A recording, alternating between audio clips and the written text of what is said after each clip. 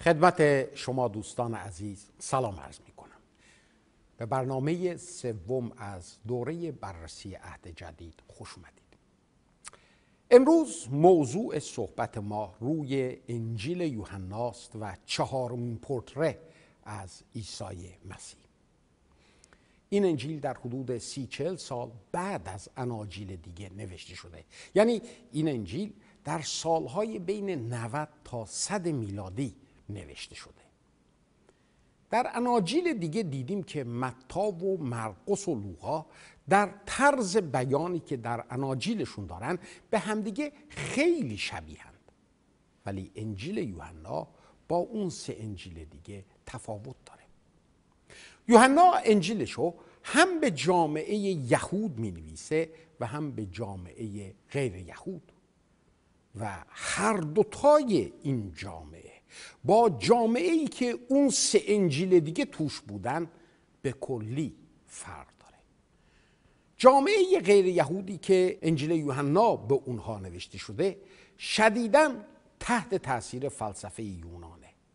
و این فلسفه این تفکر رو حاکم کرده که دستیابی به حقیقت کار بسیار سختیه. مخصوصا هم اگه می‌خوای که به حقیقت خدا دست پیدا کنی. در اثر تعالیم فلسفی یونانی می‌بینیم که جامعه غیر یهود که بیشتر یونانی بودن بر این باور بود که خدا از انسان فاصله گرفته. درسته که آفرینش حاصل دستشه ولی خدا آفرینش خودش رو رها کرده و براش اصلا مهم نیستش که درش داره چه اتفاقی میفته در واقع نقطه نظر جامعه یونانی نسبت به واقعیت این بود که دنیای روحانی به مراتب والاتر از دنیای مادی هستش و همین دنیای روحانی هستش که واقعیه دنیای نادیدنی و ابدی. دنیای مادی از دید اونها بسیار پست بود بسیار فرومایه بود و اهمیتی هم نداشت. واسه همین هم نجات از دید اونها رهایی از این دنیای مادی بود رهایی از این دنیای پست و فرومایه بود و این باوری که اونا داشتن خودش رو به دو شکل متجلی می‌کرد. اول اینکه اونها انکار نفس رو شایع می‌کردند. انکار جسم رو انکار این دنیای مادی رو. و اون تجلی دوم درست در نقطه مقابل این افراد قرار داشت که اونها در واقع می‌رفتن به انتهای در واقع لذت جویی می‌گفتن خدا این جهان رو با هر چی که درش وجود داره ول کرده و کجاست که بخواد از اعمال انسان صورت برداره. این انجیل در یک چنین دنیایی و برای چنین آدم ها نوشته شد. برای دنیایی که در چنین فلسفه ای غرب بود.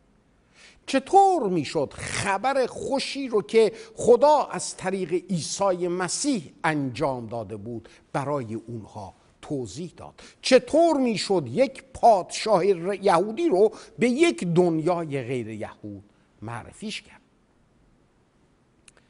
از طرف دیگه جامعه یهود هم می‌بینیم که فرق کرده. تا قبل از هفتاد میلادی جامعه یهود کلا بر معبد بر پرستش در معبد و قربانی هایی که توش انجام می گرفت متمرکز بود. ولی به دنبال خرابی معبد که در سال هفتاد میلادی به دست ژنرال روم تیتوس صورت می‌گیره می‌بینیم که نسل جدیدی که الان در زمان نگارش این انجیل وجود داره نزدیک به سی سال هستش که از معبد و قربانی ها و اعیاد صرفا تعاریف رو به شکل تئوری شنیده و چیزی ملموس در مقابل چش خودش نداشته. علت تفاوت انجیل یوحنا هم با دیگر اناجیل همانند همین. اگه به خود این انجیل نگاه کنیم نه آیه از هر ده آیه انجیل یوحنا می‌بینیم که یه مطلب تازه ای رو داره بیان می‌کنه که در اناجیل دیگه نیست. وقتی که انجیل رو می‌خونیم متوجه هستیم که مخاطبین مخصوصا مخاطبین غیر یهودی با واجه ها و مفاهیم یهودی آشنا نیستند و برای همین هم می‌بینیم که در بعضی جاها یوحنا مجبوره که برخی از قسمت ها رو که در رابطه با مفاهیم یهودی داره صحبت می‌کنه روش توضیحاتی علاوه بکنه. مثلا وقتی که آندریاس به نزد پتروس میاد و بهش میگه که مسیح موعود رو یافته یوحنا مجبور اینجا برای واژه مسیح از کلمه یونانی که همون معنی رو داره استفاده کنه. یعنی واژه یونانی خریستوس که به همون معنی مس شده است. تا اینجوری بتونه معنای مسیح رو در فکر فرد غیر یهودی که بیشتر یونانی بود بکنه. در جای دیگه می‌بینیم یوحنا مجبور هستش که عنوان رابی رو که به معلمین یهود اطلاق می‌شد معنی بکنه. همه یهودیا با این واژه آشنا بودن ولی غیر یهودیان از این کلمه چیزی نمیفهمیدن. حالا بیایید به این انجیل نگاه بکنیم. این انجیل به شکلی واقعا متفاوت با دیگر اناجیل شروع میشه. با واژه در ابتدا شروع میشه که نقطه شروع خودش رو در ازل قرار میده. مثل متا و لوقا با تولد مسیح سر و کار نداره. مثل مرقس با تعمید آب شروع نمیشه. درش از شجر نامه خبری نیست. یوحنا انجیل خودش رو طوری شروع می‌کنه که در آن واحد هم توجه شنونده یهودی و هم توجه شنونده غیر یهودی رو به خودش جلب می‌کنه. به آیه یکی این انجیل نگاه کنید. در ابتدا کلمه بود کلمه نزد خدا بود و کلمه خدا بود. خب می‌پرسید این مطلب به خبر خوش انجیل چه ربطی داره؟ خیلی هم ربط داره. واسه این که یوحنا برای واژه کلمه از واژه یونانی لوگوس استفاده می‌کنه که هم برای فرد یهودی و هم برای فرد غیر یهودی معنی به خصوصی داره. واسه یهودیان لوگوس از خدا جدا نبود. چرا که به خوبی به یاد داشتن که تمامی این کائنات به فرمان خدا و توسط کلام پرقدرتش آفریده شد. کلمه خدا برای اونها خود خدا بود. برای فرد غیر یهودی هم لوگوس معنی به خصوصی داشت.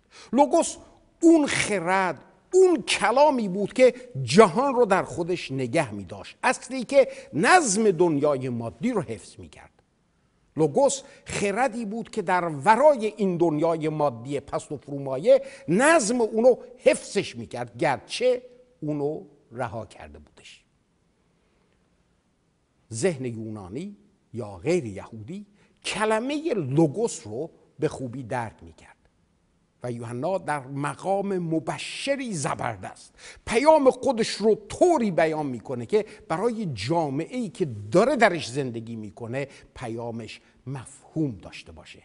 و به اونها میگه که این اصل که جهان رو در خودش نگه میداره از همون ابتدا با خدا بوده و در واقع خود خدا هم هست.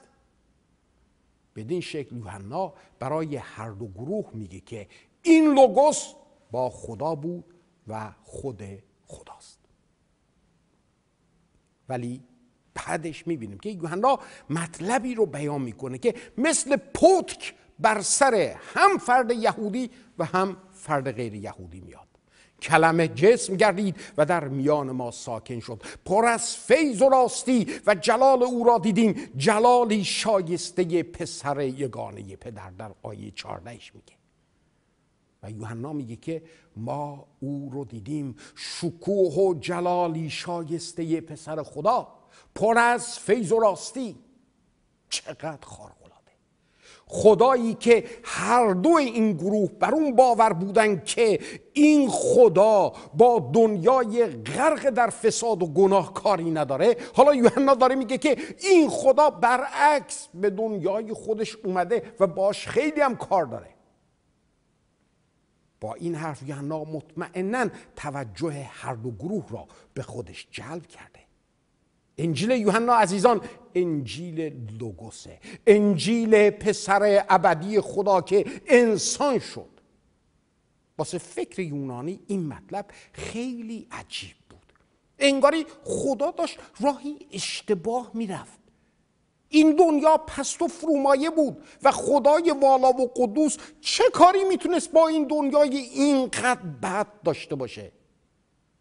نجات فرار از این دنیا بود نه اومدن بهش. انجیل یوحنا اینجوری شروع میشه. و بعد می‌بینیم که یوحنا یحیای تعمید دهنده رو معرفی می‌کنه. کسی که اومده تا بر کلمه شهادت بده.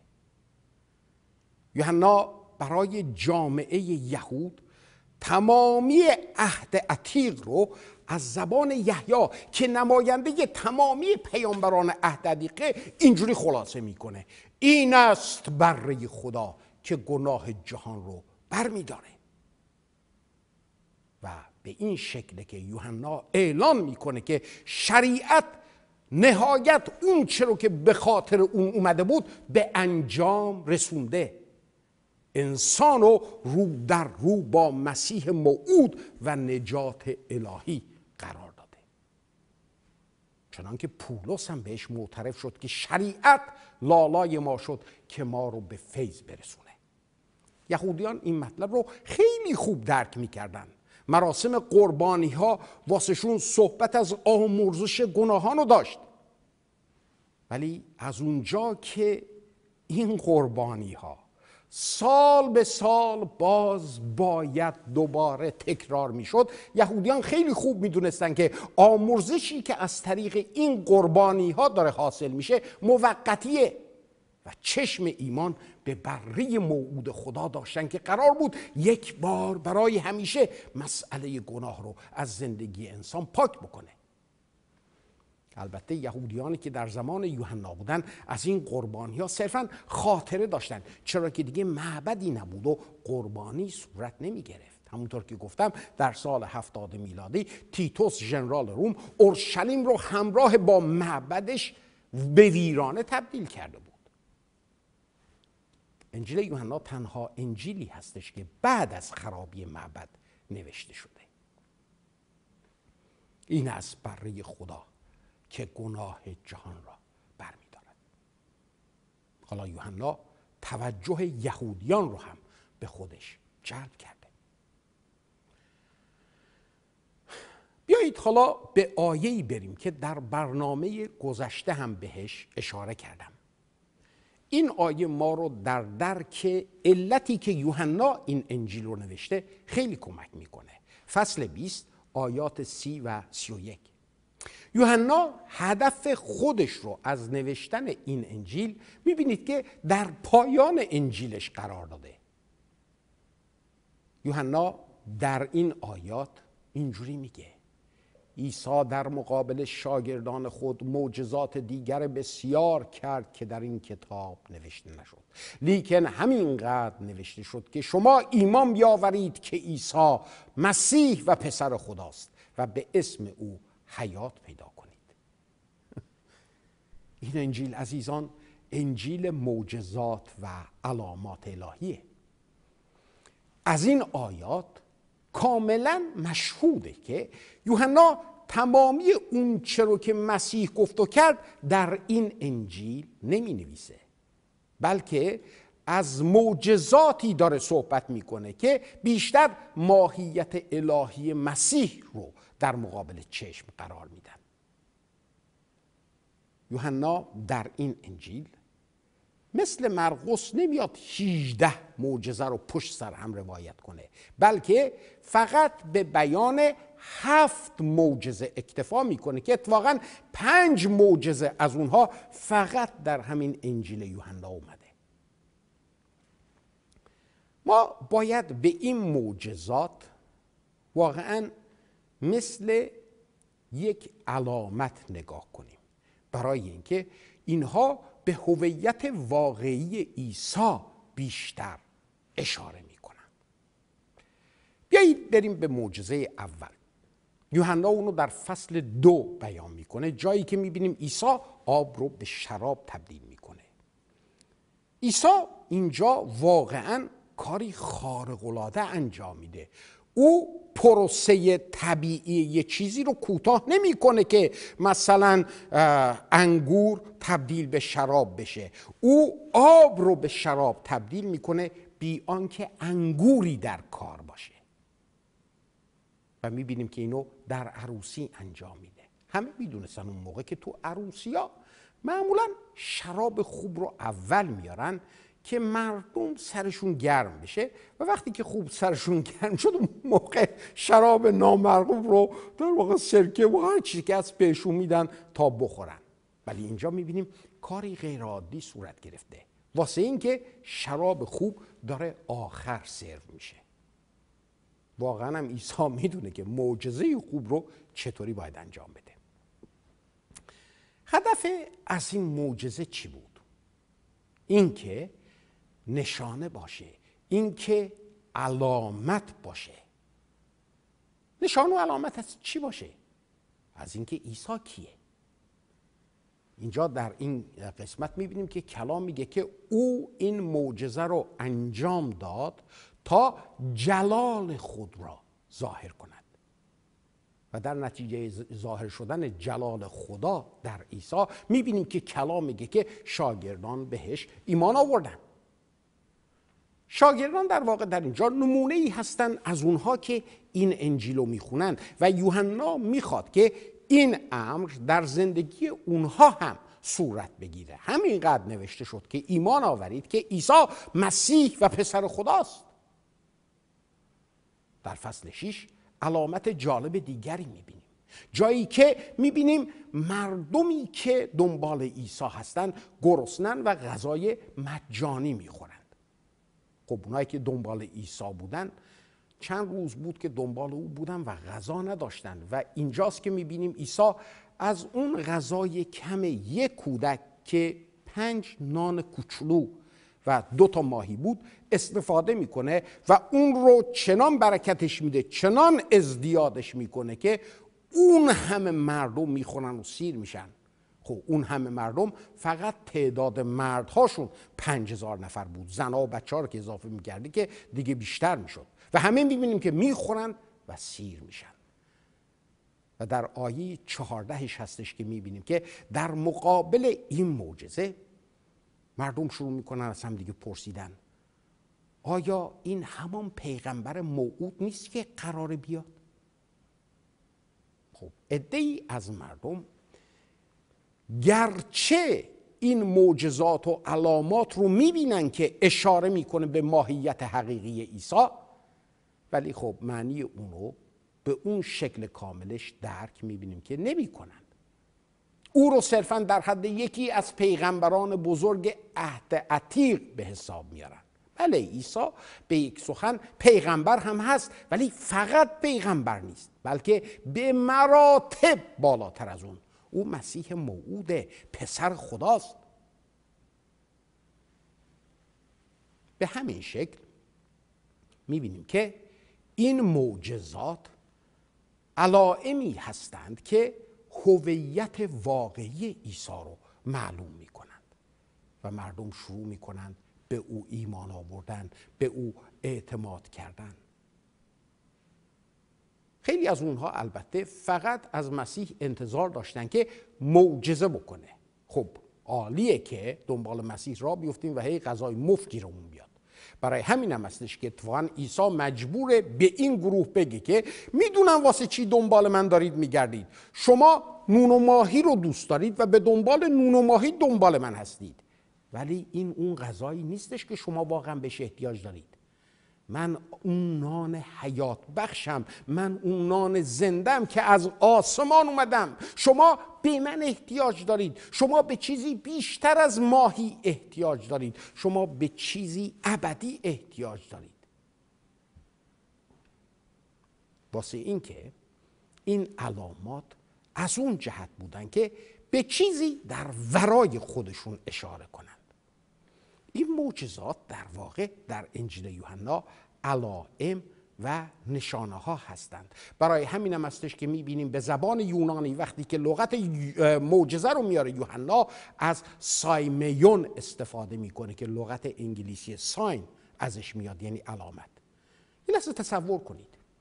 احمقانه نیست که ما در خیابون داریم رانندگی می‌کنیم و می‌رسیم به یه علامت. و حالا اونجا پهلوی علامت پیاده بشیم و محو این علامت بشیم. به چه تابلوی قشنگی چقدر قشنگ رنگ آمیزی شده و همونجا بخوایم بیستیم. ما به مقصد نرسیدیم. خیلی دیگه از مردم وقتی که میان و به اون علامت می‌رسند در اون مسیری که علامت داره اشاره می‌کنه شروع می‌کنن برفتن برای اینکه هدف اون علامت اینه. و اون همون چیزی هستش که می‌بینیم که یوحنا اینجا می‌خواد. یوحنا علت اینکه این معجزات رو بیان می‌کنه برای این هستش که این معجزات عیسی مثل علامت عمل کنند که به هویت واقعی او به خود او در ورای این معجزات اشاره کنند. و اونها رو به ما ورای نون و ماهی به ما ورای شراب به ما ورای تمامی اون چیزی که در معجزه اتفاق میفته ببرن.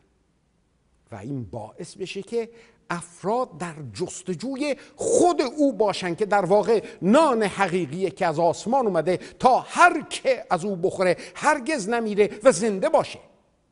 انجیل یوحنا انجیل علامت ها و نشان هاست هدف از معجزات اینه که به معجزه کننده که عیسی باشه اشاره بکنه که ما اعتماد خودمون رو بر او بذاریم نه بر معجزه بلکه بر منجی. و عیسی این رو هم به اونها توضیح میده که در عهد عتیق بهش اشاره شده. یهودیان مسلما این مطلب رو درک می‌کردند. غیر یهودیان بودند که در درک اون مسلما به مشکل برمیخوردن یه روز عیسی به رهبران مذهبی اینطور میگه قبل از ابراهیم من بودم. مردم شوکه میشن. چی؟ تو هنوز پنجاه سالت هم نیست و میگی که از ابراهیم پیرتری مردم فکر می‌کنن این مرد ناراحتی روانی داره مخش رو از دست داده ارواح پلید درش حلول کردن او دیوانه است. ولی می‌بینیم عیسی مصره قبل از ابراهیم من هستم. مردم گفتن عیسی بابا ما می‌دونیم تو از کجا اومدی. تو مطمئنا مسنتر از ابراهیم نیستی. ولی عیسی می‌گفت بله هستم. در واقع من هستم راه. من هستم حقیقت. من هستم حیات. هیچ کس نزد پدر جز به وسیله من نمیاد. شما چی فکر می‌کنید؟ آیا اینو می‌دونید که این واژه هستم که عیسی داره اونو به کار می‌بره؟ همون واژه‌ای هستش که خدا خودش رو با اون واژه به موسی, به موسی در بوته آتش داره معرفی می‌کنه؟ احیه هستم اون که هستم. ولی آیا این مرد این عیسی حالا داره با این حرفش اعلان می‌کنه که خداست؟ یهودیان اینجوری فکر می‌کردن و برای همین هم هستش که می‌بینیم سنگ و بر میدارن تا او رو سنگ سارش کنن.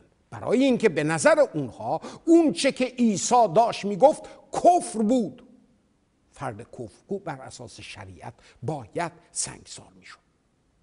ولی می‌بینیم که عیسی از میان اونها رد میره. این انجیل انجیل یوحنا انجیل نشانه هاست. مسیح الهی که خود رو با واژه هستم معرفی می‌کنه و الوهیت خودش رو نشون میده. در انجیل یوحنا فصل 14 آیه 9 مطلب بسیار مهمی نوشته شده. یکی از شاگردان از مسیح سوال می‌کنه. پدر رو به ما نشون بده که برای ما کافی است. تو دائم داری در رابطه با خدا به عنوان پدر خودت داری صحبت می‌کنی. او رو به ما نشون بده. ببینید عیسی در جوابش داره چی میگه. هر کس مرا دید پدر را دیده است. چگونه می‌گویی که پدر رو به من نشون بده؟ چی گفتی؟ هر کس عیسی رو دیده پدر رو دیده. عیسی دقیقا همینو میگه. هر کس منو دید پدر رو دیده. عزیزان عیسی به پدر آسمانی چهره میبخشه صورت میبخشه. اگه عیسی رو بشناسیم پدر آسمانی رو هم خواهیم شناخت. یادم میاد یه روز به منزل مادرم در کرج رفته بودم و با هم صحبت می‌کردیم. مادرم زیاد هم با تغییر دین من مشکلی نداشت. واسه اینکه قبلا شاهد بود که چطور خدا رو در زندگی قبلی خودم کنار گذاشته بودم زمانی که یه مارکسیست اکتیویست بودم. مادرم واقعا زن فداکاری بود. مثل بسیاری دیگه از مادرای ایرانی. واسه من و برادر بزرگترم زحمت زیادی کشید. راستش رو بخواید یکی از دردهایی که در زندگیم دارم اینه که زمانی که او به من احتیاج داشت من در کنارش نبودم. او همیشه در کنار من بود. این زخمی است که باید باهاش در این حیات زندگی بکنم و دائم دعام اینه که خدا از این گناه من بگذره. و توصیم به شما عزیزان اینه که تا مادرتون در قید حیات ارزشش رو بدونید. در هر حال او از نظر من مسلمانی واقعی بود. فردی حقجو و به دنبال خدا. به طریقی که خودش می‌دونست. ما در این ایران خودمون یک چنین افراد عزیزان زیاد داشتیم. شاید الان دیگه نداریم. رژیم جمهوری اسلامی با روش های غیر انسانیش فکر می‌کنم کمر اسلام رو در ایران شکسته. تاریخ رو نشون میده و نشون خواهد داد. مادرم از اون دست مسلمانان واقعی بود و اونجوری که می‌دونست یاد گرفته بود خدا رو پرستش می‌کرد و برای او من بهتر بود که مسیحی باشم تا یه ماتریالیست بی خدا. اقلا از نظر او مفهومی از خدا در زندگی من وجود داشت. من بارها و بارها باهاش صحبت کرده بودم که چرا مسیحی شدم. به او گفته بودم که ببین من گول نخوردم. من به مسیح ایمان آوردم. واسه این که مسیح رو به رو با من ایستاد و دستای سوراخ رو به طرفم دراز کرد و گفت فریدون نگاه کن این سوراخ ها به خاطر گناهان تو هم هست. خب در اون روز به خصوص که در منزل مادرم بودم خوشحال به نظر می رسید و برای من این جالب بود. یه چایی واسم ریخت و به زبان آذری شروع کرد با من صحبت کردم پسرم دیشب منم او رو دیدم. درست به همون شک که می‌گفتی. و بعد ادامه داد. شب خواب بودم که متوجه شدم انگاری چراغ اتاق روشنه. از خواب بلند شدم. به کلید نگاه کردم. دیدم نه کلید برق خاموشه. دوباره خوابیدم. باز احساس کردم که اتاق روشنه. برخواستم و باز کلید خاموش بود. بار سوم باز این اتفاق افتاد. برخواستم ولی این بار فقط به کلید برق نگاه نکردم. به اطراف رخت خوابم و عیسی اونجا ایستاده بود. غرق در نور. نور او بود که اتاق رو اونجوری روشن کرده بود. به طرفم لبخند زد و مادرم می‌گفت و من می‌دونستم که در حضور خدا قرار دارم.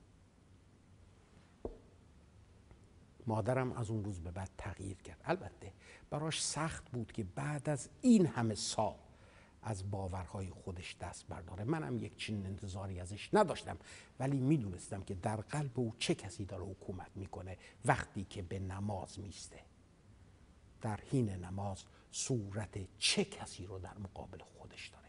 اینو می‌دونستم. عیسی در این صحبت خودش در واقع همینو داره میگه. در عیسی ما خدا رو ملاقات می‌کنیم. کلمه که انسان شد. یوحنا اینو می نویسه که ما باور کنیم که عیسی مسیح موعوده عیسی پسر خداست. عیسی ادعاهایی کرد که فقط خدا می‌تونست بکنه. او گناهان رو میبخشید مرده رو زنده می‌کرد. خود رو داور همه معرفی می‌کرد. زمانی که معجزاتش رو می‌بینیم تعالیمش رو میشنویم به ادعاهاش گوش میدیم نتیجه ای نداریم جز اینکه در عیسی خدا به تمام پری خودش ساکنه. چه مکاشفه خارق ای کسی که تمامی دنیا به توسط او آفریده شد در جسم انسان به دنیای ما پا می‌ذاره. این معجزه ای هستش که یوحنا می‌خواد مردم اونو باورش بکنن. این انجیل لوگوسه انجیل مسیح الهی. واسه همینم می‌تونیم اونو انجیلی مناسب برای مژده برای بشارت بدونیم. اگه می‌خوایم به انجیلی دسترسی داشته باشیم که حقایق در مورد خدا رو واسه ما معلوم می‌کنه انجیل یوحنا همون انجیله. این انجیله که معروف ترین آیه کتاب مقدس رو در خودش داره. در فصل سه آیه 16 خدا جهان را اینقدر دوست داشت که فرزند یگانه خود را داد تا هر که تا هر که به او ایمان آورد هلاک نگردد بلکه حیات جاودان پیدا و عزیز من مردم این مطلب رو هر روزه دارن تو زندگی خودشون تجربه می‌کنن و ایمان خودشون رو روش می‌ذارن. و می‌بینیم که انجیل یوحنا در فصل بیست خودش به اوج خودش می‌رسه. جایی که توما یکی از شاگردان مطلبی رو عنوان می‌کنه. اگه به یوحنا فصل 20 آیه 28 بریم اونجا می‌بینیم که یوحنا در انجیل خودش این مطلب رو این واقعه توما رو برای این نوشته که ما هم به اون چه که توما رسید برسیم. جایی که مسیح قیام کرده اثر زخم ها رو به توما داره نشون میده. عیسی به توما نشون داد که همان کسی است که بر صلیب مصلوب شده. روح نیست عیساست توما بیا و جای میخها رو ببین. توما چه می‌کنه؟ به روی بر زمین میفته و میگه خدای من خداوند. انجیل یوحنا هم به همین دلیل نوشته شده که ما هم در مقابل او به سجده بیاییم و اعلان کنیم که او خداست. عزیزان این مطلب از جانب خدا احتیاج به مکاشفه داره تا بتونیم اون رو درک کنیم. آیا سوالی رو که عیسی از شاگردان می‌پرسه به خاطر دارید؟ مردم مرو که می‌دونن؟ خب جواب اینه. بعضی ها تو رو ارمیا بعضی ها هم تو رو یکی از پیامبران بزرگ عهد عتیق می‌دونن. ولی عیسی برمیگرده از خودشون می‌پرسه شما چی میگید؟ به نظر شما من کیم؟ پتروس جواب میده تو هستی مسیح پسر خدای زنده. و بعد اون جوابی رو که در ادامه صحبت میگه به یاد دارید. میگه پتروس قوه درک انسانی تو نبود که این حقیقت رو به تو معلوم کرد بلکه پدر آسمانی من. درک اینکه عیسی حقیقتا کیست به مکاشفه الهی عزیزان نیاز داره. به قوه و شعور انسانی نیستش. هیچ کس جز به روح القدس کلام خدا میگه نمی‌تونه عیسی رو خدا بخونه. این روزا در خارج از ایران افراد زیادی رو می‌بینم که به در خونه ها میان و می‌خوان در مورد عیسی با آدم صحبت کنند خب برخورد این افراد بسیار محترمان است. شما مطمئنا در نحوه برخوردتون برخوردشون احساس می‌کنید که با افرادی متشخص روبرو هستید. وقتی که در تهرانم بودم با چند نفر از اونها صحبت داشتم. و وقتی که به در منزل می اومدن به منزل دعوتشون می‌کردن و با هم صحبت های خوب داشتیم وقت خوبی داشتیم. این افراد به شاهدان یهوه موسوم هستند. و در حال حاضر اینا در میان ایرونی هم فعالیتی خیلی قوی دارن و کتاباشون با نقاشی های قشنگ به فارسی هم ترجمه شده. در همه این صحبت ها من دیگه با اونها بحث الهیاتی نمی کردم شهادت زندگی خودم رو می‌دادم. و از اونها می‌خواستم که اونها هم شهادت زندگی خودشون رو به من بدن. با من از الهیات صحبت نکنن. شهادتشون رو به من بدن که مسیح براشون چیکار کرده. و هر بار در مقابل این سوال من سکوت برقرار می شد و باز صحبت می‌رفت به بحث الهیاتی. در زندگی این افراد متاسفانه تجربه تولد تازه وجود نداره. و برای مقبول شدن در حضور خدا نیاز دارن که دائم برای او کار کنن و ارزشمندی خودشون رو به خدا ثابت کنن که مهمترین این خدمات هم به در مناظر رفتن و بشارت دادن ایساست اتفاقا علت این که تجربه تولد تازه رو تو زندگیشون ندارن برمیگرده به تصویری که از عیسی دارن. در باور پیروان شاهدان یهوه عیسی فردی بهتر و بالاتر از انسان ولی خدا نیست. یک وجودی بین انسان و خدا. کاملا انسان نه بالاتر از اون. کاملا خدا نه پایین تر از اون. شاید فکر کنید که اگه تمامی آیاتی رو که در کتاب مقدس به ویژه در همین انجیل یوحنا در رابطه با الوهیت مسیح وجود داره لیست بکنید و بهشون نشون بدید قضیه حله. نه قضیه حل نیست. منم به این باور بودم و سعی می‌کردم که اون اوایل دائم با بحثای الهیاتی و نشون دادن این آیات سعی کنم اونا رو قانع کنم. ولی بیفایده بود. و اتفاقا همین تجربه حقانیت همین آیه رو که قبلا بهتون گفتم بیشتر به من ثابت کرد که هیچ کس جز به روح القدس نمی‌تونه عیسی رو خدا بگه. برای درک این مطلب به مکاشفه الهی احتیاجه. عیسی خودش میگه که اگر کسی بخواهد اراده پدر مرا به جا آورد آن وقت خواهد فهمید که آیا من از خود صحبت می‌کنم؟ و یا از طرف خدا.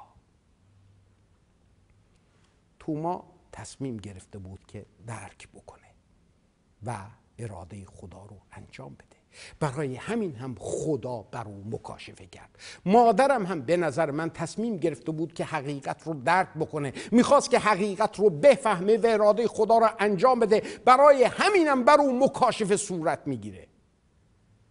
عزیزان این نوشته شده که ما هم اون مکاشفه الهی رو داشته باشیم.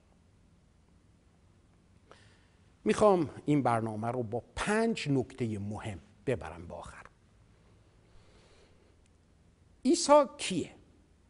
پسر خدا کی است عیسی گفت که فرزند خداست. هر کس که او رو دیده پدر رو دیده. او معجزات خوبی انجام داد. ادعای عجیبی کرد. من شبان نیکو هستم من نان حیات هستم من آب حیات هستم من حقیقت هستم من پیش از ابراهیم هستم. وقتی اینا رو می‌بینید وقتی اینا رو میشنوید شما به چه نتیجه می رسید خب در این مورد راستش رو بخواید چهار جواب بیشتر نمی‌تونیم پیدا کنیم. اولین جواب این هستش که اون چی که در اینجا اومده آقا قصه است. واقعیت نداره. اتفاقا یه عده این عقیده رو دارن و فکر می‌کنن که داستان انجیل ساختگی از نظر تاریخی واقعیت نداره. ولی آیا می‌دونستید که حقیقت اناجیل بهتر از هر کتاب تاریخی دیگه حالا ثابت شده؟ ببینید هیچ کس سوال نمی‌کنه که آیا قیصر روم جولیوس سزار واقعیت تاریخی داشته یا نه. حال اون که شواهدی که در مورد عیسی تاریخی در دست داریم از شواهد تاریخی که در مورد جولیوس, جولیوس سزار هستش خیلی بیشتره. کتاب های زیادی وجود دارن که در مورد عیسی دارن صحبت می‌کنن و تاریخ نگارش اونها به زمان عیسی به مراتب نزدیکتر است تا هر کتاب دیگه ای که تاریخ نگارشش به زمان جولیوس سزار نزدیکه. ولی هیچ کس در مورد جولیوس سزار شک نمی‌کنه. شواهد مربوط به عیسی تاریخی عزیزان به مراتب بیشتر از سزاره. عیسی افسانه نیست. واقعیت انجیل واقعیه. دومین جوابی که میشه بهش داد این که آقا عیسی دیوونه بود مجنون بود جن زده بود.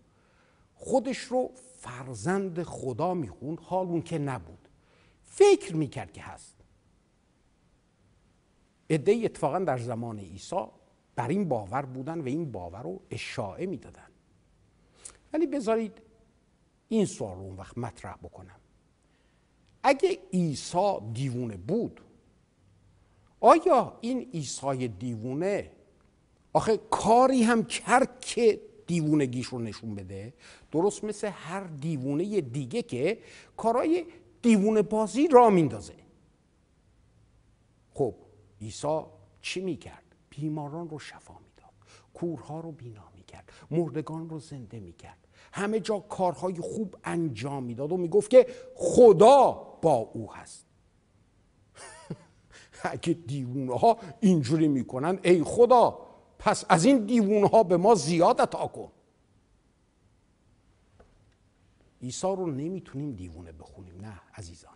عیسی نه افسانه است و نه دیوونه. خب ممکنه بگید پس اگه اینطوره حتما دروغگوه. می‌دونست که فرزند خدا نیست ولی ادعا می‌کرد که هست. ولی آخه فردی که دروغگوه. مگه می‌تونه بگی که من راه و راستی و حیات هستم؟ واسه این که یک چین دروغی سرزرب آشکار میشه. عیسی به مردم می‌گفت من به شما دارم حقیقت رو عرضه می‌کنم که حقیقت رو بشناسید و آزاد بشید. آیا دروغگوی رو دیدید که اینجوری صحبت کنه؟ آیا عیسی اون دروغگوییه که خودش رو حقیقت می‌دونه؟ عزیزان در رابطه با اینکه عیسی دروغگوه ما شاهدی نداریم. در واقع خود عیسی به افرادی که او رو خیلی خوب میشناختن بهشون میگه منو به چه گناهی دارید متهم می‌کنید؟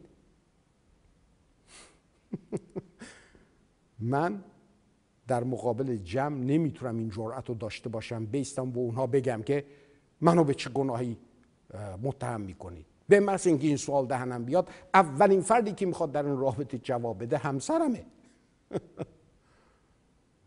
مردم به خوبی می‌دونستن که زندگی عیسی از هر گناهی مبرا هستش. او نمی‌تونست مردم رو فریب بده.